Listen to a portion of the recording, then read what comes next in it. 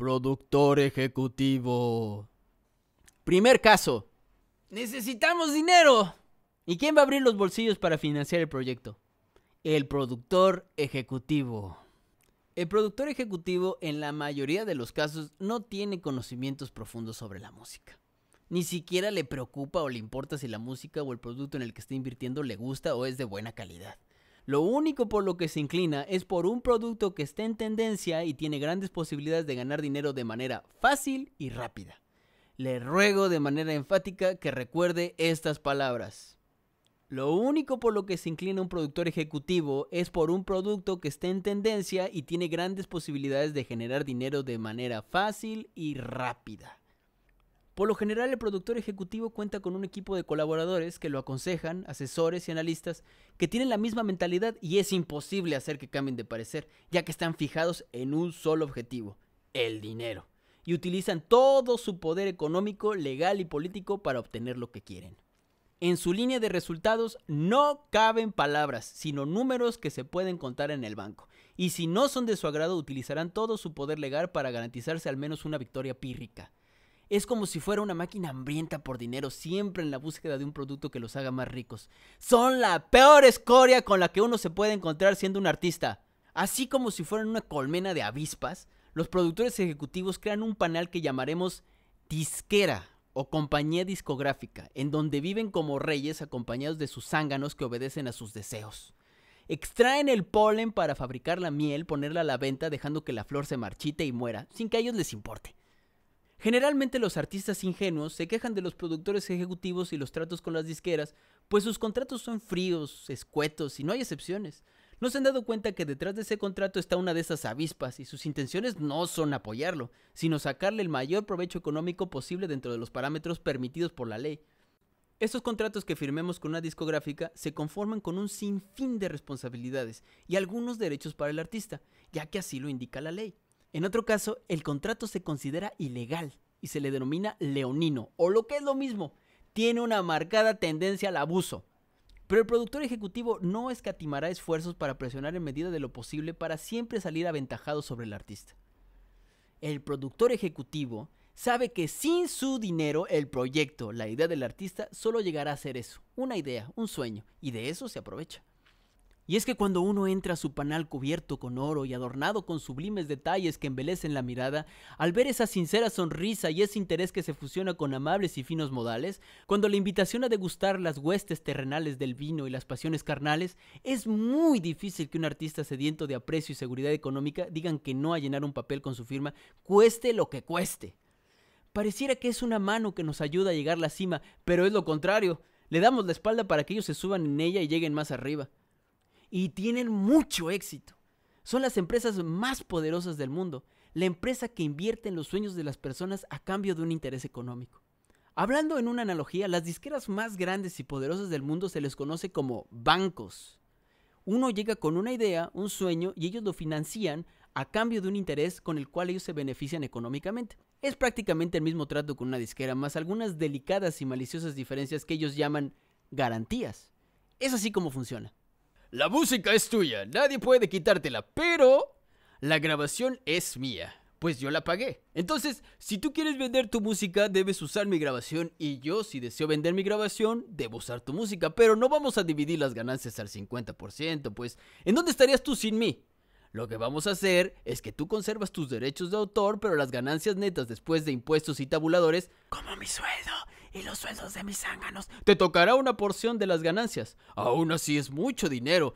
No tanto como el que yo gano, obviamente. Y la fama será toda tuya. A mí ni me conocen. Y no me interesa ser famoso. Eso te lo dejo a ti. Ah, algo más. No puedes grabar las canciones con otra disquera. ¡Nunca! Y todo lo que grabes y crees en cinco años, incluidos conciertos, canciones en papel y hasta publicaciones en redes sociales, entrará en este mismo trato. ¿Firmas? No. Bueno, entonces como nadie quiere firmar este trato, pero hay muchas personas que quieren ser famosas, no sé por qué, construiré yo mismo mis propios artistas. Los moldearé a mi gusto e intereses y aprovecharé todos mis contactos y mi poder financiero para bombardear a las personas hasta que lo compren. Luego, si este se cansa y se quiere retirar, lo demando y fabrico uno nuevo. Es decir, las personas no buscan más que un boom boom para bailar. ¿Qué tan difícil puede ser? Y no es difícil. Los productores ejecutivos saben que la clave está en manipular emocionalmente a las personas para que compren sus productos, ya que las personas en general sienten y luego piensan. Y si sienten y luego piensan, quiere decir que compran y luego se preguntan, ¿en qué carajos estaba pensando? ¿Por qué compré esta mierda? Pero el daño ya está hecho.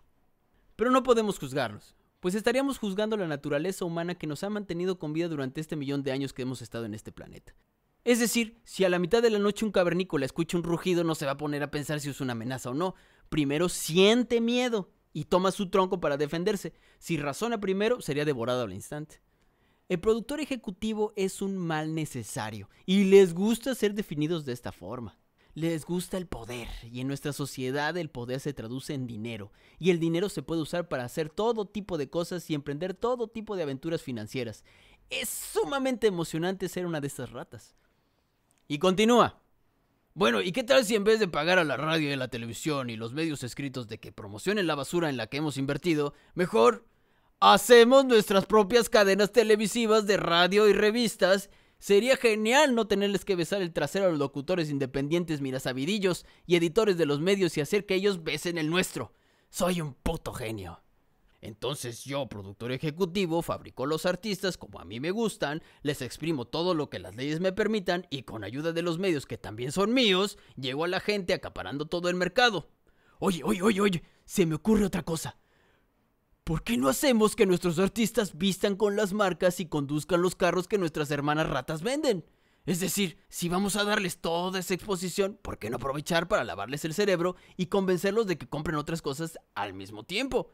¡Carajo! No puedo ser más inteligente. Ya sé, ya sé, ya sé, ya sé. Vamos a darles premios al más obediente. ¿Qué importa si su música es una mierda? Con un premio de oro y una multitud aplaudiendo, seguro que vamos a triplicar nuestras ventas. Además, ¡Jesús mío! Podemos vender comerciales de otros productos basura y los derechos del evento para que los incautos lo retransmitan. ¡Que alguien me detenga! And uh, lastly, I would like to thank MTV, especially the producer of this show, who uh, obviously had a real brainchild, you know, sat and thought, wow, I can get a lot of commercial coverage, sell a lot of time, if I could get a bunch of celebrities together in a room. I know, I'll give them an award, and if they don't show up, people will think they're ungrateful. It's perfect! Esa, esa es la realidad a grandes rasgos de lo que es una disquera y un productor ejecutivo. Es un hombre de negocios, el dinero es su razón y las leyes son sus armas. No les interesa la música a menos de que tengan datos fehacientes de que es una buena inversión, que se ciña a sus parámetros y que el artista esté dispuesto a doblegarse a sus deseos. Yo me pregunto si alguien en su sano juicio en el año en curso 2022 todavía desea estar con una disquera tradicional después de todo el mal que han hecho. I'll tell it. We're not going to sugarcoat anything anymore. We've been quiet long enough. I'll put it to you this way. We are the biggest selling female group ever. Um, 10 million albums worldwide. We have worked very hard. We have been in this business for five years.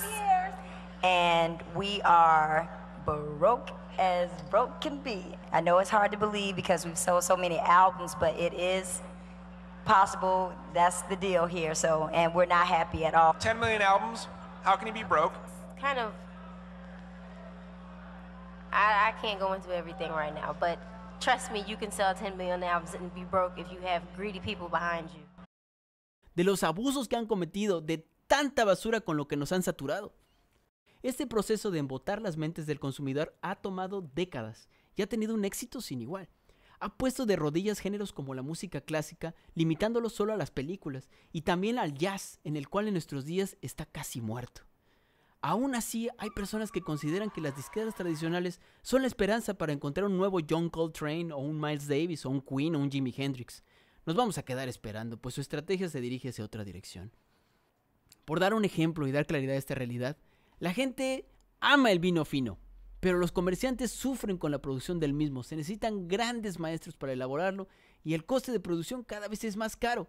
Así que en vez de buscar una solución, promocionan un vino que es bueno, pero no de tan buena calidad, bajando sus estándares año con año hasta que literalmente el vino se ha transformado en agua de la llave con saborizante químico y alcohol sintético. Y la gente lo ama pues durante generaciones se les ha educado a bajar sus estándares poco a poco hasta que Daddy Yankee es considerado un artista de gran calidad. Disculpen si vomito. No hay un solo artista firmado por una disquera tradicional que esté de acuerdo con sus políticas o sus tratos económicos. Y es una bendición que la tecnología haya alcanzado el punto en donde los artistas encuentren a un productor ejecutivo que no sea una disquera tradicional.